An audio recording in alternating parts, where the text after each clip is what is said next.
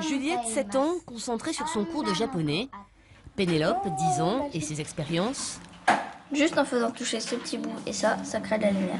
Valentin, 12 ans, le plus autonome, plongé dans un livre d'histoire.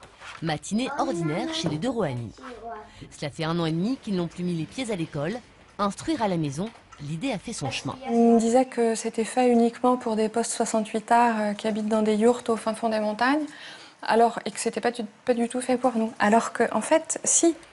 Des petites araignées, qu'est-ce que Le mal-être de Valentin, enfant précoce en souffrance à l'école, a achevé de convaincre ses parents. C'était vraiment, c'était vraiment un enfer. Ils ont même créé un club anti-Valentin. Désormais, plus de contraintes horaires. Seule règle, deux heures d'instruction par jour, plutôt le matin. Céline de Rohani, docteur en droit, travaille chez elle et décide des programmes en accord avec ses enfants. Ils ne sont pas tenus de suivre les programmes de l'éducation nationale. Pénélope, on choisit de les suivre parce que c'est son choix.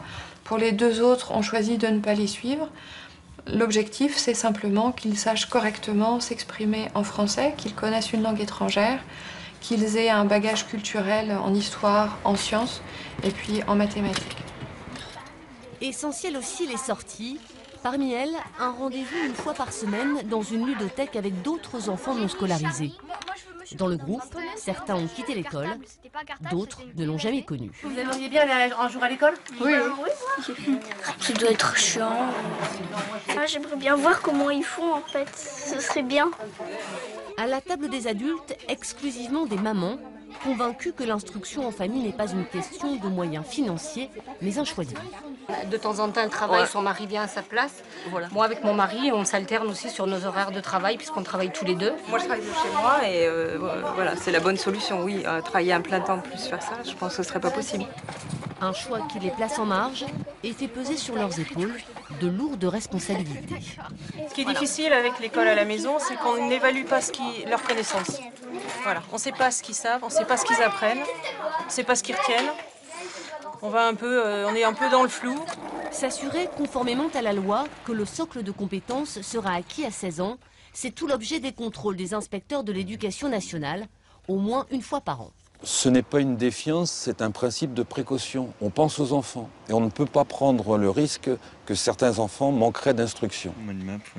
De ces inspections, Christine Leroy ne garde pas un bon souvenir. Jusqu'aux 16 ans de ses fils, elle s'y est soumise à contre-cœur.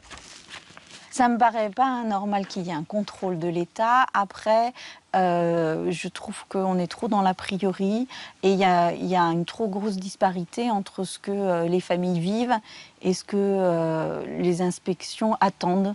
Ça, euh, tu te souviens comment vous aviez appris à dénombrer et compter des allumettes? Brewen, 19 ans, garde le souvenir d'une période heureuse marquée par le plaisir d'apprendre. Comme beaucoup de jeunes dans son cas, il a intégré le lycée en terminale.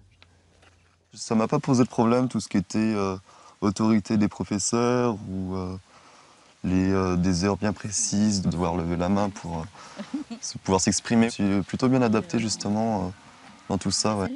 Brewen est aujourd'hui en deuxième année de psycho, son frère aîné en architecture et son jumeau à l'école Boulle à Paris.